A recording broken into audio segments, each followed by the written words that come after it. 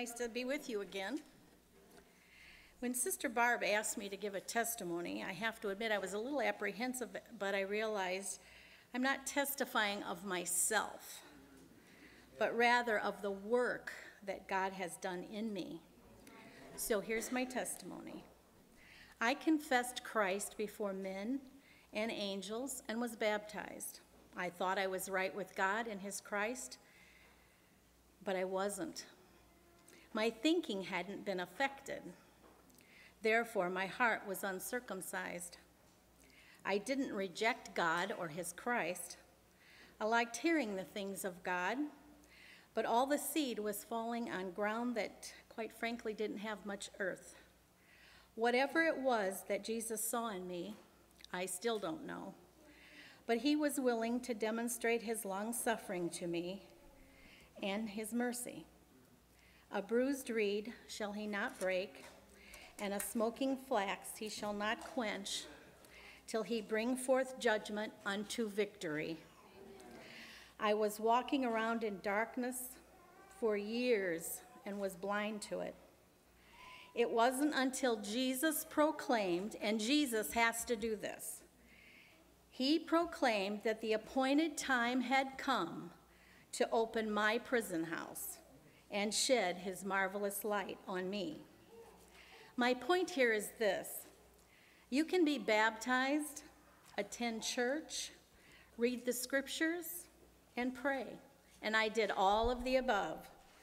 But until Jesus sheds his redeeming light into your prison house, it's just words. It's just words. It, I distinctly remember Jesus letting me know he was no respecter of persons and revealed to me just how vile I was before him. When Jesus opened my eyes to the truth of my condition, I fell before him and sobbed. I remember thinking, What have I done? I repented and asked for forgiveness, and true to his word, whosoever calls upon the name of the Lord shall be saved. Though my sins are many, Jesus forgave me all my sins and said, Go and sin no more. That moment, I felt the chains of bondage, the chains that I carried for 37 years, fall off my shoulders. I had been set free.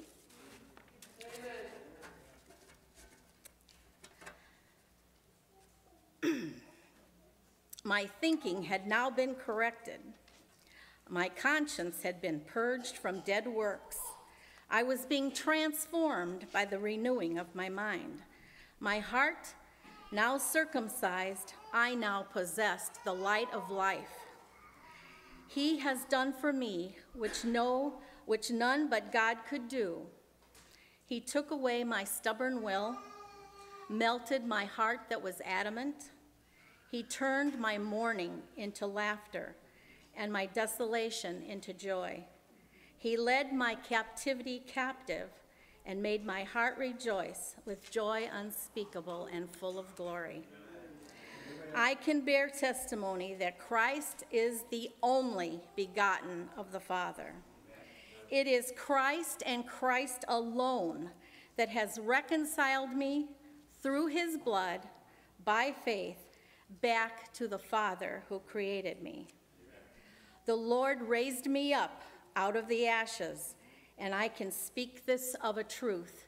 There is a balm in Gilead. I took time to pause. The Lord could have given me over to a reprobate mind given me over to strong delusion which couldn't be recovered from, cast me away. He could have taken my breath and required my soul. I would have physically died, of course, but uh, ultimately be cast out into utter darkness only to hear the eternal haunting words, Depart from me, I never knew you. And God would have been right and just to do so. But God, Oh, how I love these words. But God, who is rich in mercy, for his great love wherewith he loved us, even when we were dead in sins, hath quickened us together with Christ. By grace ye are saved, and hath raised us up together, and to sit in heavenly places in Christ Jesus, that in the ages to come he might show the exceeding riches of his grace in his kindness toward us through Christ Jesus. For by grace ye are saved through faith, and not of yourselves. It is a gift of God. Amen. Back then, I confess I was not worthy to have Christ's spittle to land on me. I'm still not worthy of myself. But now I can speak these words with confidence. I am covered by the blood of the Lamb.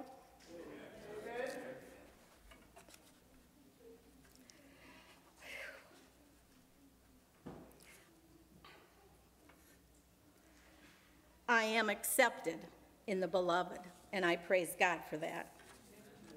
Amen.